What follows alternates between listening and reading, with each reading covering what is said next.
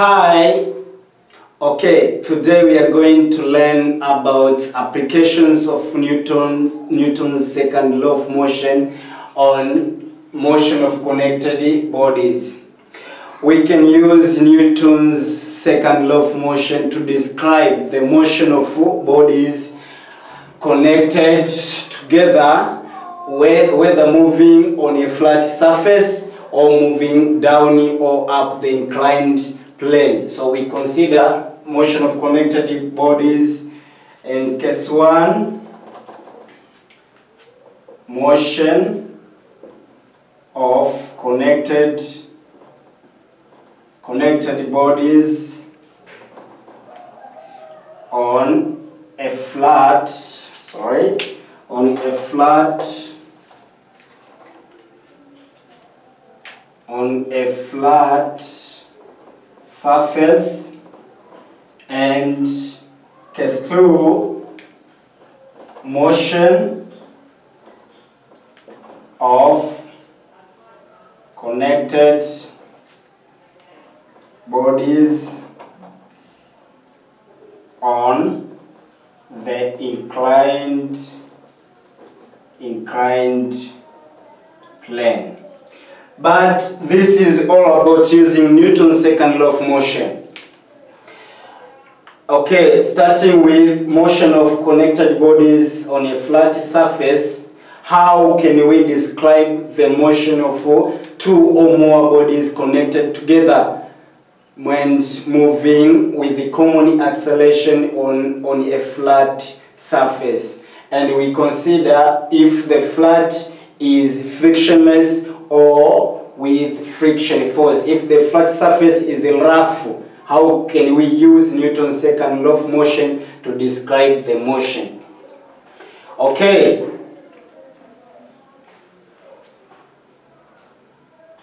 In case 1, in case 1, suppose we have two bodies connected together and are said to move on a flat surface. Assume the surface is frictionless. Consider, consider two bodies with masses m1 and m2 connected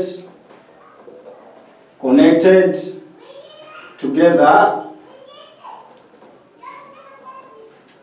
connected together and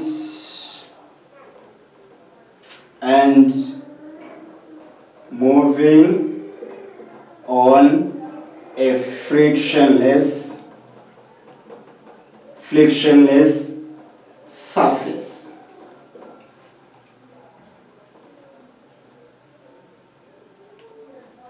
frictionless surface.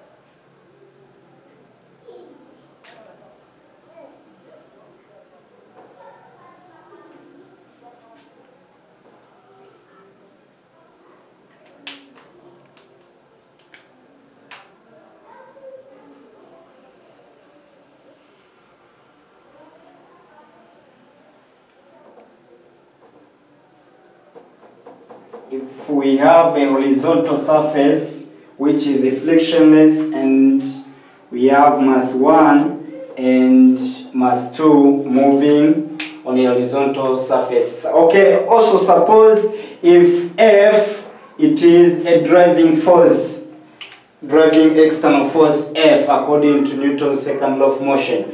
Now, to, to, to find or to describe the acceleration of the system, we use Newton's second law of motion. First of all, we have to, to analyze the free body diagram for mass 1 and for mass 2. Now, acceleration, acceleration of the system, the system is determined as follows. Determined as follows.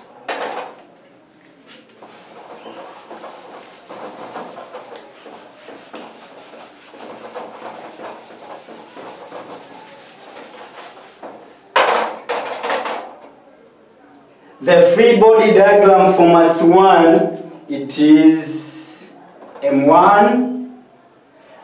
There is a force, there is a force which pulls mass 1 towards, towards mass 2. Because these two masses are connected together, so there, there is a tension, and tension in a connecting rope or in a connecting chain between mass 1 and mass 2. There is tension T, also T, tension T for, for, for mass 1 and tension T for mass 2.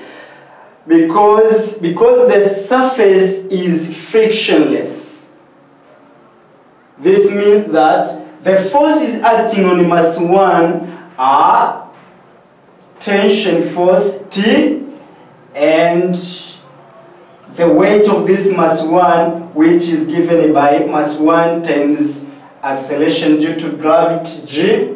Also there is a normal reaction R. There is a normal reaction R. Likewise for mass 2, for mass 2, the free body diagram, the free body diagram, there is an external driving force F, the pulling force, and the tension T, also the weight of mass 2 m2 times G, and the normal reaction R. Because our motion is along the horizontal, so the vertical seeking forces have no effect on our motion. Now we consider only the horizontal seeking forces.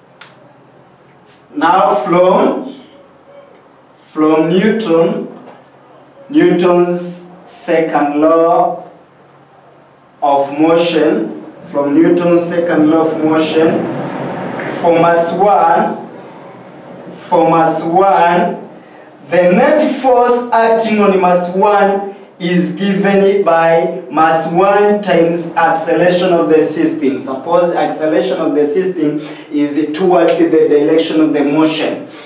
Okay, the net force, the total force acting on mass 1 is given by mass 1 times acceleration of the system. Okay,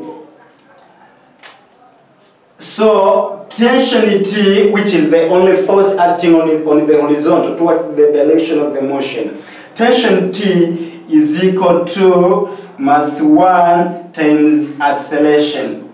Call this equation 1. Okay, also for mass 2, for mass 2, for mass 2, the net force acting on mass 2 is given by mass 2 times acceleration of the system. Something to note here is that acceleration of the, of, of the two masses, mass 1 and mass 2, is the same because the system is connected system. So they move with the same, with the same acceleration. Okay, but the forces acting on mass 2, there are two forces, the external force F and the tension force T.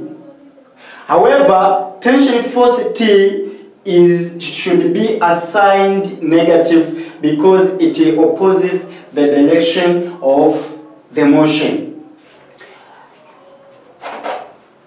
Now,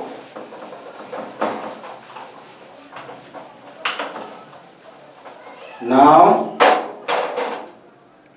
we say external force F plus the, the negative tension T is given by mass 2 times acceleration. Now, F minus T equals to M2 times acceleration of the bodies.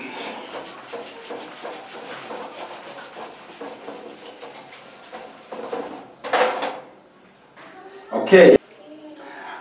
it is F minus T equals to mass 2 times acceleration. Call this the second equation. Now suppose we are interested to obtain the expression for acceleration A. Now we compare we compare equation 1 with equation 2 or substitute where substitute t equals to m1 times a in equation 2. Now substitute substitute equation 1 into equation 2 to obtain to obtain external force F minus it is now m1 times a equals to m2 times a. Okay f f minus f equals okay? F equals to m2 times a then plus m1 times a. Shift this in the other side because it has a negative sign in the other side should be positive. Okay? F equals to a out out of brackets m1 plus m2 make a the subject to obtain acceleration of the system equals to external force applied F out of M1 then E plus M2. Now this is the expression for acceleration of the system for these two masses connected together and moving along the horizontal frictionless surface. Okay, now suppose if the surface is not frictionless in such a way that it is rough. Describing the motion of these two connected bodies moving along the horizontal, we have to consider the friction force because there is a coefficient of friction force relative to, to, to the surface of the bodies and to the surface of the plane.